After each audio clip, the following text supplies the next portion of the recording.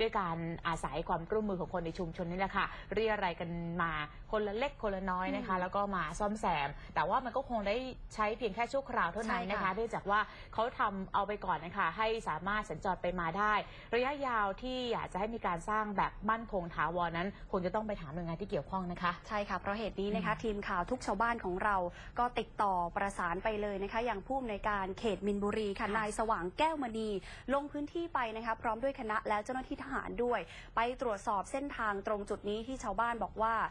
เดือดร้อนมานานแล้วค่ะเป็นพื้นที่ตาบอดนะคะ แล้วก็จะมีการหาแนวทางเพื่อซ่อมแซม แล้วก็เชื่อมต่อถนนไปยังถนนสายหลักด้วยนะคะ และหลังจากนี้ก็พอเขตบอกเลยนะคะ ว่าจะประสานกับหน่วยงานที่เกี่ยวข้อง เพื่อขอเจรจาสร้างถนนผ่านตรงจุดนี้ด้วยค่ะ ก็หลังจากที่เดินดูพื้นที่แล้วนะครับ ก็ ดูแนวเส้นทางที่จะเป็นไปได้นะครับ เรื่องถนนที่จะ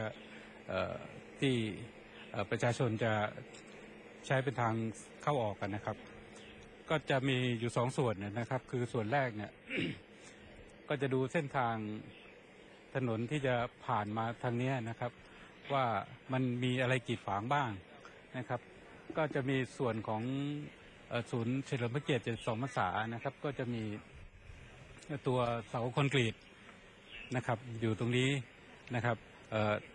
เขตจะประสานกับทางสำนักงานสวนสาธารณะจะเคลื่อนย้ายตรงจุดนี้ได้หรือเปล่านะครับ เพื่อจะเป็นแนวถนนจะทำให้ประชาชนเข้าออกได้สะดวกนะครับ ก็กำลังประสาน